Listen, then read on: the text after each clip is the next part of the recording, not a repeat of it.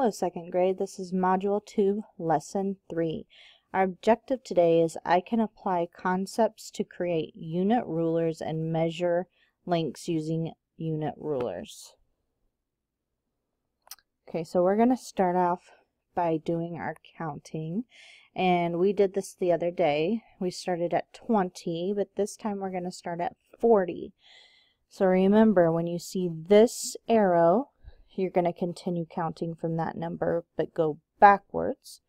And if you see this arrow, you're going to continue counting from that number forwards. All right, let's try this. Remember, we're starting at 40. Here we go. 40, 41, 42, 43. Oh, go backwards now. 42, 41, 40, Switching again, going forwards. 41, 42, 43, 44, 45. Now we have to go backwards. 44, 43, 42, 41, 40. We're going forwards again. Now you continue counting on your own. Here we go.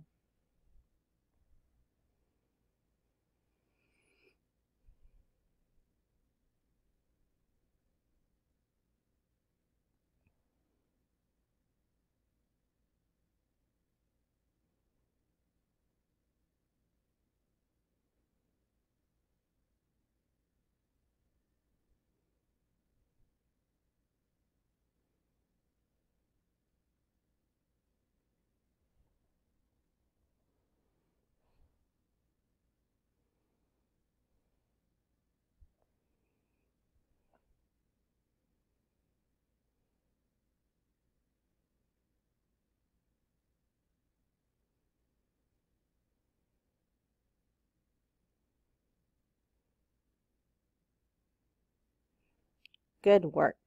That can be a little tricky, but you did an excellent job.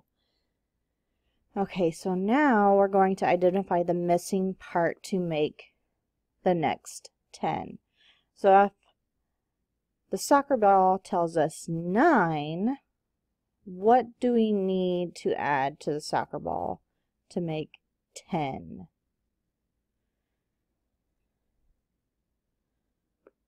One. So 9 plus 1 equals 10. Let's see if you can do the next one.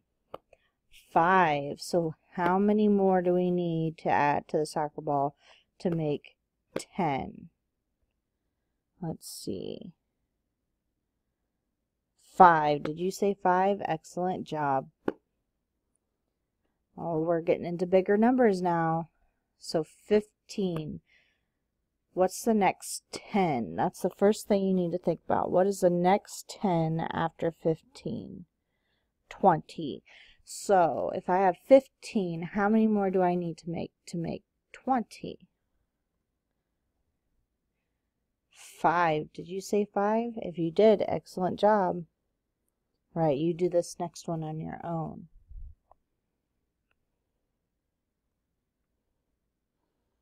Did you say 5? Good job. How about 16? How many more to make the next 10?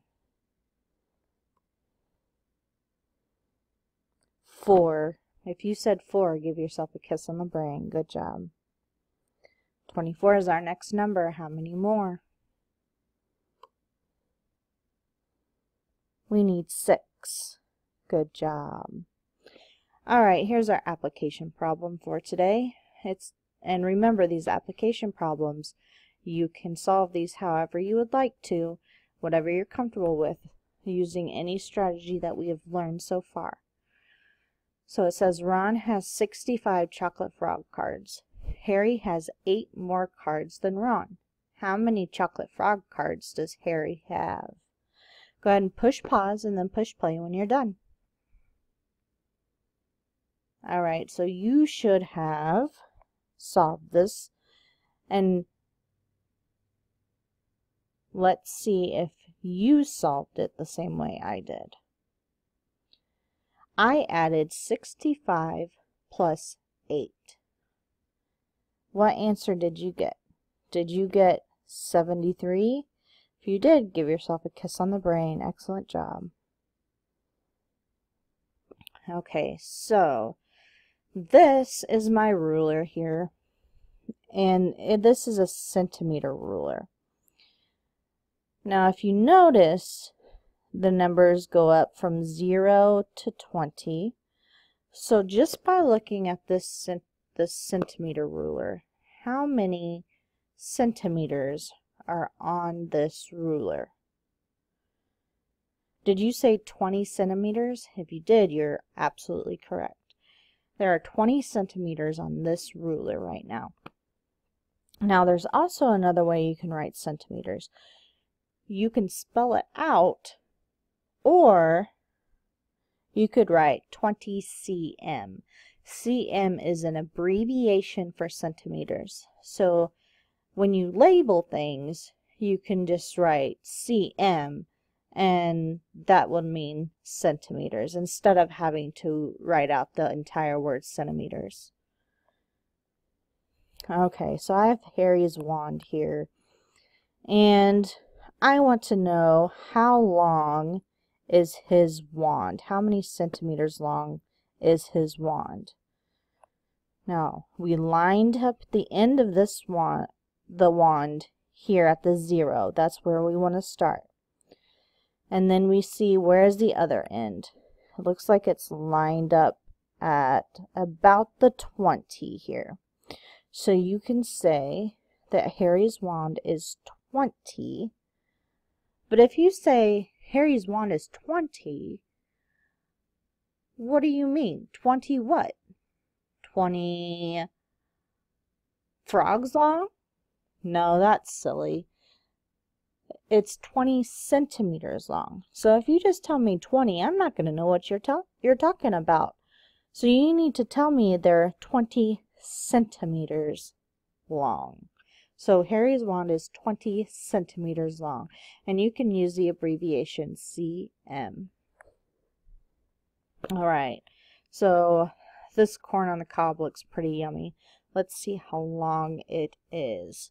Now, we lined up the end of the corn here with the zero because that's where we want to start. Now let's see, here's the other end. Where does it line up to? It lines up to about the 14 here. So we can say that this corn is 14. 14 what? 14 centimeters long. Don't forget to add that ending to label. Alright, I've got a beach ball here. And I need to figure out how many centimeters long this is. Go ahead and write down your answer looking at this ruler here. Make sure you're lining it up with the end of this beach ball here. And don't forget to label. Did you say that this beach ball was 9 centimeters long? If you did, give yourself a kiss on the brain. Mmm, I love Dr. Pepper. Let's see how long this Dr. Pepper can is. Write your answer. Did you say that this Dr. Pepper can is about 12 centimeters long? I hope you wrote the abbreviation cm to label that it's centimeters and it's not frogs long. Ooh, here's my favorite Harry Potter book. Harry Potter and the Order of the Phoenix. It's the fifth book in the series. So let's see, how long is this book? Did you write 16 centimeters? You did. Good job. Well, I had a sandwich for lunch today. Let's see how long that sandwich was. Now I have some cheese that's coming out of the end, so you need to make sure you line up the cheese. Make sure you get the cheese at the end here too. Write your answer down. Did you say 18 centimeters long. If you did, good job. Now remember,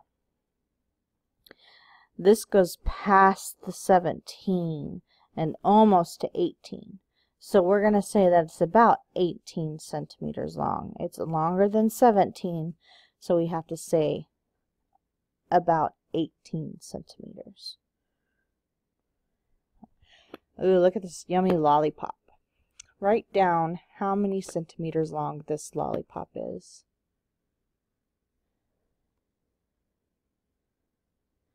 Did you write 7 centimeters?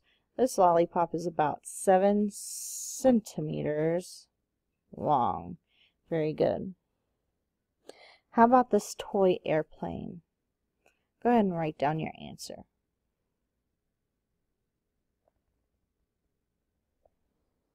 Did you write that this toy airplane is about 10 centimeters long?